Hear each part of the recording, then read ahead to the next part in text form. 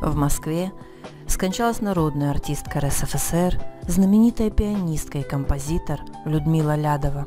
Об этом сообщил друг семьи, адвокат Виктор Дворовенко.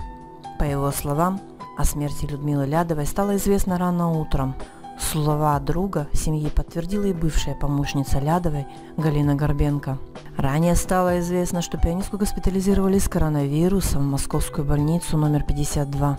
Она находилась под присмотром врачей терапевтического отделения. Но Лядовой становилось хуже, и ее перевели в реанимацию.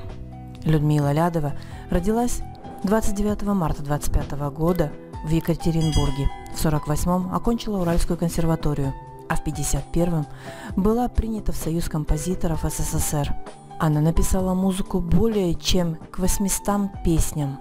В частности, широкую известность получили «Старый марш» на стихи Михаила Владимова, «Барабан» на стихи Игоря Шаферана и «Айлюли» певицы Тамары Миансаровой. В качестве певицы Лядова выступала с Ниной Пантеевой. Также она выступала композитором. Ее песни пели такие известные исполнители, как Иосиф Кобзон и Эдуард Хиль.